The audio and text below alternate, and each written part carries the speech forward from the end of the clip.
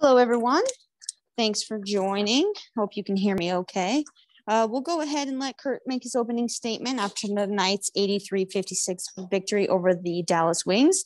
Uh, we took the series 3-0 over the Wings. Uh, this is our 10th game in a row that the Connecticut Sun have won. Um, Curt, you can go ahead and take it away. Yeah, proud of our focus tonight, proud of our team. Big win. Um, we talked about a fast start in the locker room. We talked about um, coming out with a focus and intensity um, at the defensive end.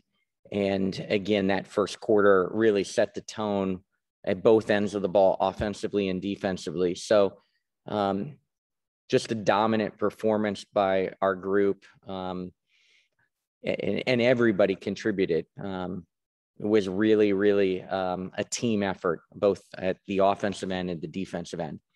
Special shout out to Jazz becoming the Suns' all time leader in assists in franchise history. JJ moving into second, all time in block shots in franchise history. So great to see. And I know um, our defense takes pride, but uh, I know Arike had some uh, absolutely amazing double figure streak that was snapped tonight. And uh, we held her to two for 17 for the game. So that is not uh, one person, but a lot of our little guards chasing around, but a lot of attention with our post players to Arike. So just a overall really great win for us to set the tone on this road trip. Thank you, Curt. We'll go ahead and open it up to some questions.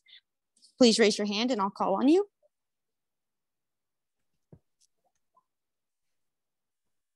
Gabby? Hey, Curt, congratulations on 10 straight. I mean, I know you guys are focused on a lot more, but just to hit that number and have that consistency, I know there's been a lot that you guys have worked on to get to this point where you can come out and have a dominant win like that.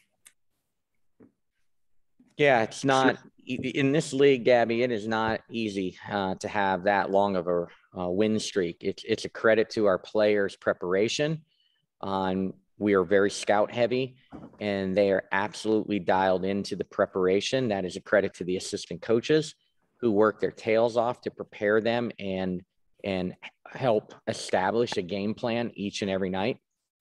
Um, but a true focus that they come to the court. This is the competitive group that um, I love to coach. It's what makes them special. We are good in the tough areas, not um, it's not always easy to play defense the way we play. It's not always easy to rebound the way you rebound. Um, they are really dedicated to the tough parts of the game, uh, defense and rebounding. So, um, just really, really happy, and and um, we're going to try to keep going one game at a time.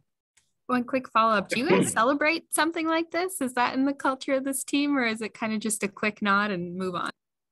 Yeah, there was uh, there was a a joy uh, sometimes winning is a relief, unfortunately, uh, when you're in basketball long enough. And we've all felt that, um, you know, such a relief at times. Tonight was pure joy. Um, the bench was happy for the starters. The the um, the starters were happy for the bench. Um, they know that it wasn't one person. I think we had five or six people in double figures. We got you know nine out of our ten scored you know, so just there, there was a joy in our locker room tonight, and it, it's really fun when that happens because too much um, this game is too often at all levels uh, becomes a relief to win, and it's n- nice to you know have one good joy game. That's for sure. Thank you, Alexa. Hi, Curt. Um, you mentioned it in your opening comments, but um, can you speak to what exactly um, you all were able to do so well defensively to hold Arike to just two made field goals. And also, if my math is correct, I believe you're officially at half the games so far this season where you have held teams to 70 or fewer points, um, 14 out of 28, I think. Um, so again, can you just speak to the overall defensive effort and just consistency to be able to do that night after night after night? Yeah, again, um, Bree January sets the tone on someone like Arike, but it is a team effort. It is a scheme. It's a lot of attention. Um, they were down some players, some outstanding players. Satou, Izzy Harrison's not playing. Um, you know, and so, you know, we knew that they were going to have to play through Arike a lot. Um, they were going to have to play through Marina a lot. So just a lot of attention um, in our scouting report. And so that's five people guarding the ball at times and shrinking the floor and giving attention um, to players that we know they want to score or take their most shots. So just hats off. And again, Brandi Poole Scout was excellent. We had uh, an, you know, a little bit longer to time to prepare for this game than you typically do in the WNBA. And you could tell we were prepared. Um, we were all sick of watching film on Dallas. I'll tell you that. Thank you. Rafiq? Hey, coach, part of the reason that you were able to get this win is that you held the Dallas Wings down to 24% in the first half in field goal shooting and 26% overall. What does that tell you about the type of defensive identity that your team created? We just never give up. Um, they're a tremendous one on one team out of system. Um, they're one of the top two teams of unassisted baskets in the league. So even when you do a good job guarding plays, Rafiq, they they just can go make baskets. It's a credit to our players of staying in plays and really contest. They didn't have their best night. They didn't have their best night, uh, but you got to give our defense credit for making those shots as difficult as possible. And besides the scoring, like what's the difference between the blowout win tonight and the blowout win you had the last time you were playing them in Dallas? I, Rafiq, I don't even remember right now all the details of the last game. It's just one game at a time. But, uh, you know, tonight was that first quarter, set the tone, um, gave us a comfortable lead, allowed us to play a little bit freer, not in, not tight. And you could see a confidence in our group tonight that if they if they didn't hurt themselves, um, if we screened well, we moved the ball, we were going to get quality shots, and then they were just locked in defensively. Appreciate your insight. Miles? Hey, Curt, congratulations on the win tonight. Um, Natisha came in and really sparked that second unit, helping to extend that lead to about 20 points with her scoring late in the first quarter and early in the second quarter. What did you see out of her tonight, energy wise, that really gave you that boost and, and took the baton from the first unit? Yeah, I mean, obviously, Natisha has been a great spark for us all the time. Um, she's a tremendous three point shooter, but I thought the difference tonight was how aggressive she was to get two feet in the paint. Uh, she scored some conventional three point plays and some tough baskets around the basket. Um, and you could just see a determination to get into the paint tonight, make things happen. So um, she really gave us a spark there early um, and then ran the team that whole fourth quarter. Thank you. And uh, during the game tonight, Jasmine Thomas became the franchise's all time assist leader. Could you talk a bit about her contribution to the team, not just tonight, but as a leader throughout her career here? Yeah, again, you know, it was the first thing we talked about in the locker room. It, it's special anytime you're a statistical leader in one of the 12 franchises in the league. It's longevity, it's success. Um, you know, it's it, it's unselfish. That stat is a really unselfish stat of assist. Um, and again, this year, Miles, she has really sacrificed maybe some personal shine on her for the way we want to play and the way we believe we can be a championship contender. And she's not taking as many shots, but she's shooting the ball tremendously from the arc. Um, but she's our captain and she's our facilitator. And for her, so unselfish this year to understand that there's a style that we truly believe in that can ultimately put ourselves in position. It's just a credit to what a professional she is. Thank you so much. And congratulations on the win tonight. Thank you. Thank you. Ned? Howdy, Kirk. Congratulations on the win tonight. Uh, hopped on the call about a minute or two late, but heard you mentioned uh, being a lot of joy tonight with the team. Um, has there been a lot of that after games this season? Because I know you and the players have discussed a lot how even after wins, you may not be satisfied. Um, the guys have also discussed how you can be pretty businesslike at times. tonight a break from the norm for you guys? Yeah, for sure. Ned, today was just different. There was a joy in that locker room. There was a sense of satisfaction on how we came out, how we were focused. We threw the first punch um, out of halftime. We wanted them to take the first time out. We got them to take the first time out in the third quarter. So there's just a lot of satisfaction tonight. I appreciate the peer accountability in that locker room and that they there's times even after wins that they want to be better. We know we can be better. There's some times, as I shared in this profession, that winning sometimes too often becomes a relief. Tonight was different. There was a joy, there was a satisfaction, and uh, it's only one game. And mm-hmm. now that what they do know is that we're back to work tomorrow in preparation for LA. Uh, just a quick question off the game. Um, noticed that Alyssa's injury designation has changed on the uh, game reports. Wondering what's going on with her, and you know, is there any chance that she might be able to play for you this season? Yeah, and I've, I've shared this a couple times, and and trying to get the message consistent is that yep. we are pleased with her rehab. Mm-hmm. We are pleased with um, where she's at. Um, you know, right now there's still observation, evaluation needed on a daily basis, mm-hmm. but she, you could say that she is ahead of schedule. Um, mm-hmm. Ultimately, you know, a, a AT would play not only when she's physically ready, but mentally ready. Uh, it is not always easy mentally to come back from a major injury. And so we need everything to align. And if that's November 1st in Czech Republic, then that's great for AT. If it's somewhere in this season, um, you know, that's great also. But, uh, you know, she's in a, she warmed up with us. That is why um, the status changed um, in today's game that she was going to warm up with us. I wasn't out there. I was mm-hmm. on my pre game media call um, to see all the warm up, but um, she was scheduled to go through a warm up with the team today. Well, she impressed the Dallas announcing crew, so there's that. Thanks. Thank you. Charlotte, you'll be the last question for Curt. Hey, Curt. I just wanted to follow up on Ned's question. Actually, talking about that joy in the locker room, like post game, who you're seeing kind of really, I don't want to say initiate that or, or really bring it um, in a situation like like tonight. Charlotte, can you repeat it? You came in and out just a second, and I don't know if I got the context of the question. Sure, yeah. Um, just who you're seeing really bring or initiate that joy, I should say, um, on a night like tonight. You know, we we talked about a few individual things first. We talked about Jazz. We talked about JJ.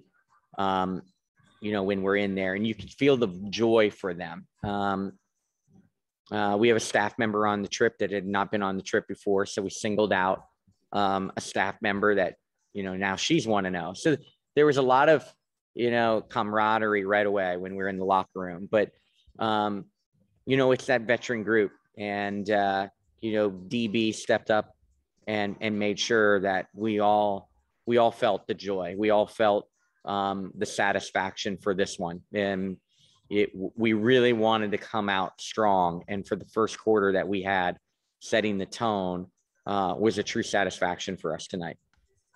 Thank you.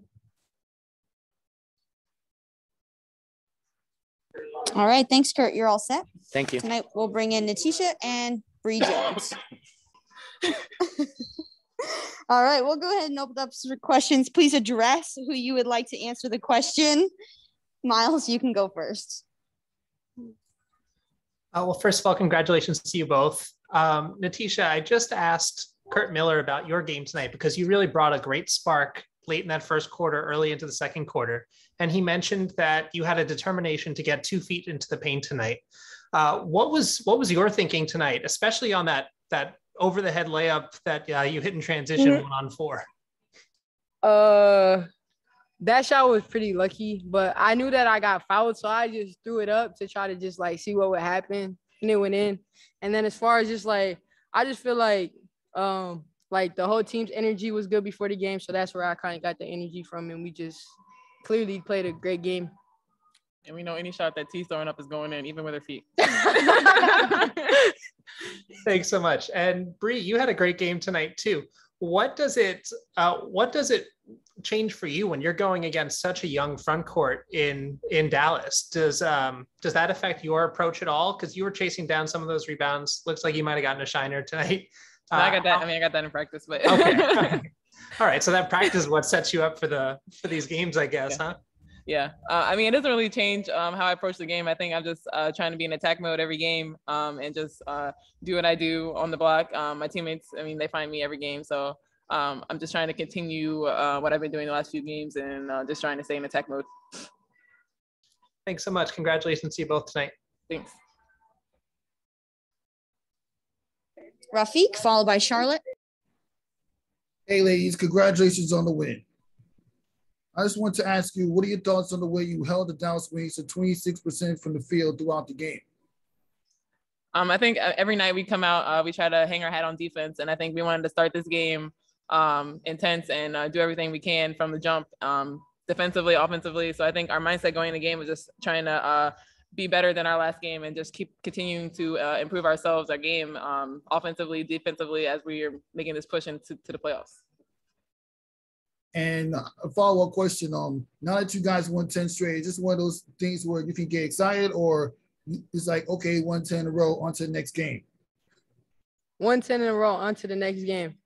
And City Field, where are you at? City Now, I'm in Brooklyn, New York. This is just my background. Oh, okay, lit. Have a good night. Thanks, you too. you too.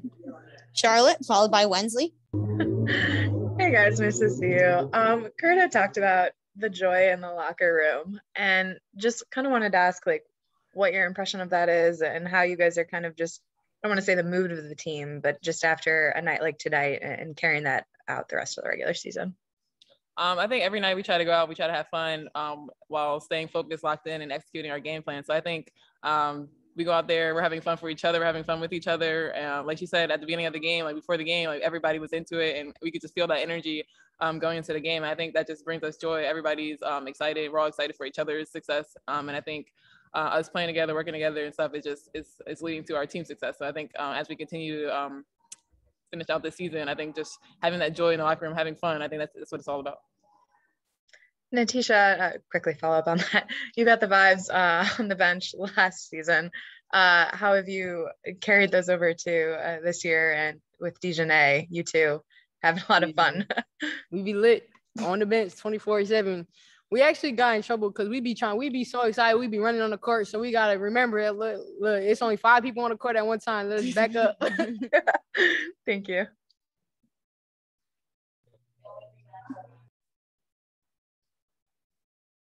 Wensley, you can go ahead.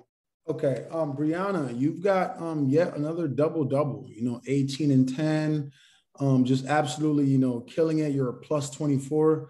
Um, actually, every single person in your starting lineup was at least a plus twenty three, right? So you guys are dominating. What I want to ask you is, how hard is it to take it one day at a time? You know, one game at a time when you are just, you know, cruising. You've won ten straight. You guys seem to be unbeatable at this point. I don't want to jinx anybody, but how hard is it to take it one day at a time when you've been so good, so consistent for such a long period of time? I mean, I think um, you know every day we come into the locker room, we come into practice with the same mindset, and I think uh, everybody's uh, locked into that. Everybody wants to do it, do whatever they can to get better. Um, you know, even though we are um, playing so well, there's still things that we're like there's still slip ups, and I think everybody has that mindset of we can be better. And if we want to be a championship team, then we have to do those things, do the little things. And I think um, just coming out every night and uh, improving on our last night, I think having that mindset has allowed us to be this successful. And Natisha, um, tonight, you know, you were a star off the bench. You know, it, it seems like every other night there's someone, whether it's Kaila, you know, or, or someone else. How do you really know when you get into the game, like where to pick your spots? And like, is it my night or is it just Mhm. kind of going with the flow of the game and seeing how? yeah, you you don't know. It's just like you just get on the court, see see what's going on, what what's given to you and what's not. And that's the thing. It you know, it could be anybody stepping up and it, you know, we'd be happy for each other. Everybody be so happy and into it and excited. And uh it's just a good feeling that, you know, we cheer for each other and, and we care about each other so much on the court. Thank you, guys. Um, congrats on the win. Yeah, thank you. Miles, you have another question? Yeah, just one more um, for both of you, actually. Uh, Jasmine Thomas became the franchise's all-time assist leader tonight. Uh, do either could either of you talk to her leadership and uh, her facilitating and just her team, uh, her as a teammate? I mean, her leadership is everything. I've been playing with her for the last uh, five seasons, and um, just having her on the court out there leading us at, at the point guard, it's, it's, it's been great. And she always makes the right reads, uh, whether it's for her, whether it's for other players. So I think just having her out there, and I think um, going back to training camp this year, like she came in late and just missing her voice. I, I felt that a lot. I felt that a lot yeah, um, in training camp. So just, you know, you never know um, how much she brings until, you know, she wasn't there for a little bit, but it's, it's great to have her on the court and, um, you know, she leads us. Yeah, I would say the same thing. Like she's always talking like every single day, every practice, every she don't stop pretty much. and uh personally for me, just being at the same position as her, she's taught me so much and it's always like in my ear telling me, you know, you could do this or you could do that. So just having her as like that also mentor figure on the court. Um, but yeah, she she really don't stop talking and her energy's pretty A A one. Thanks so so much again. All right, thanks, ladies. You're all set. Thank you, everyone. Thank you.